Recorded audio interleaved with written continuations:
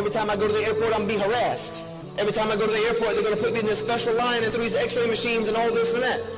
I might get locked up. I might get this. I'm going to get scrutinized. I might get beat. I might get spit at. Why? Why would I do that? Tell me one good reason I can do that. I said, I'm going to tell you why. And I said, this is for everyone. I'll tell you why. Because maybe you look at us now. You might look at the Muslims now when they're in the airport and they're in this separate line being harassed. You might see the Muslims being crowded up and thrown into prisons and into detention facilities, refugee camps. You might see the Muslims getting oppressed all over the world. You might do that.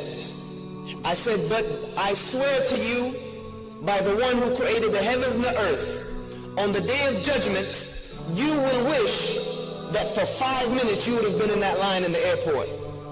You will wish in the next life that for one moment you had stood in the footsteps of one of those Muslims who have been oppressed.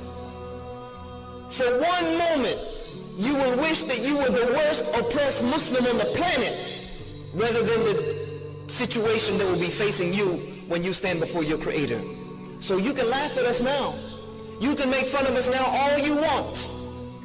The day the real laughter will come is the day that we enter into Jannah and we leave you behind. If you want to be serious about it. That's the reality of the matter. Is that what I have gives me that type of izzah. Laugh now. Go ahead, laugh. Even if I tell you what Islam is really about, you want to laugh at me, you want to mock at me, go ahead. I'll actually sit down and let you finish because I'm going to have my day.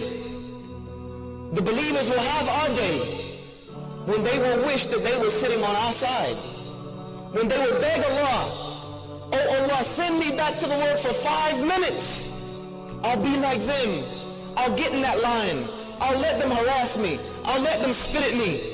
I'll let them snatch my scarf off my head. I'll let them put me in a refugee camp, oppress me, put me in Guantanamo Bay. They can put me wherever where they want to put me, as long as I can stand with them today.